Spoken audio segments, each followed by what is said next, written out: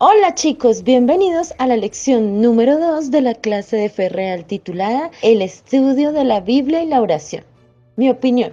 Benjamín quiere comenzar a estudiar la Biblia con regularidad y aplicar sus enseñanzas a la vida diaria. Nunca antes ha intentado hacer algo así y duda que pueda ser constante. No sabe ni siquiera por dónde empezar ni con quién hablar. La mayoría de sus amigos no muestran ninguna clase de interés en las cosas espirituales y su familia solo asiste a la iglesia de vez en cuando. ¿Por dónde empezar? ¿Qué le diríamos?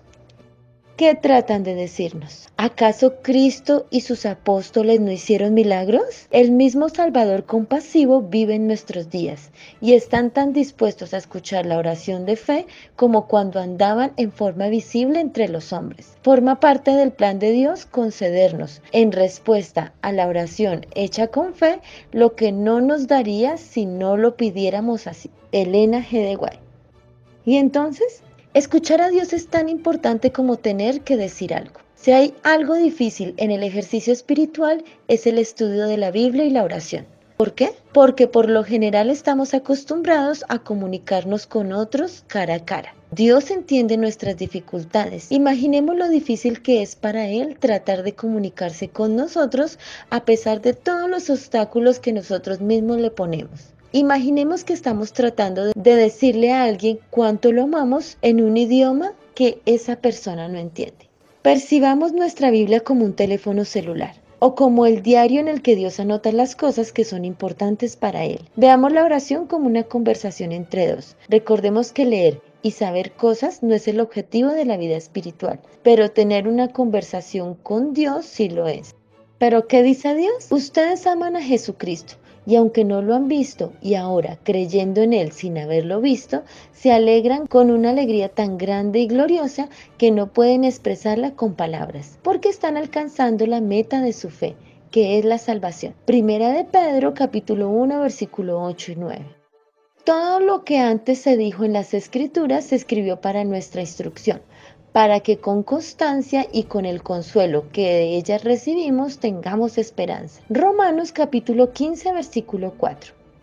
Luego volvió a donde estaban los discípulos y los encontró dormidos. Le dijo a Pedro, ¿ni siquiera una hora pudieron ustedes mantenerse despiertos conmigo? Manténganse despiertos y oren para que no caigan en tentación. Ustedes tienen buena voluntad, pero son débiles. Mateo capítulo 26, versículo 40 y 41. Tú has ordenado que tus preceptos se cumplan estrictamente. Ojalá yo me mantenga firme en la obediencia de tu ley. Salmo 119, versículo 4 y 5. ¿Qué tiene que ver conmigo? Pensemos en una bolsita de té y una taza de agua hirviendo.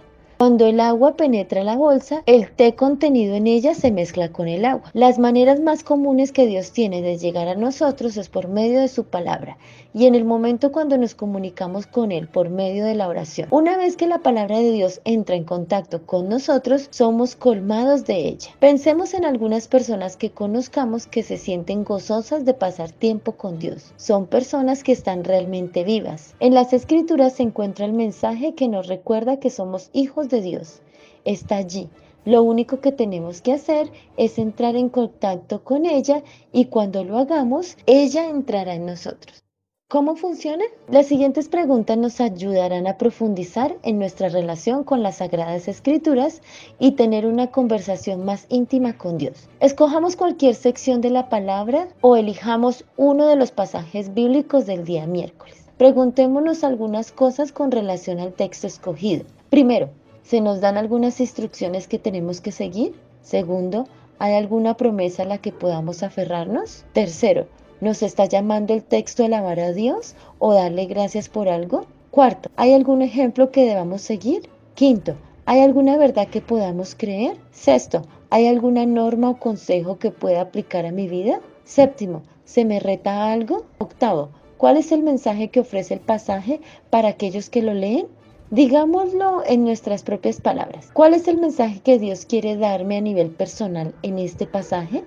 ¿Qué me está diciendo? ¿Qué cosas pueden cambiar en mi vida como consecuencia de mi conversación con Dios? Espero que les haya gustado la lección. Nos vemos en la próxima clase. Chao chicos.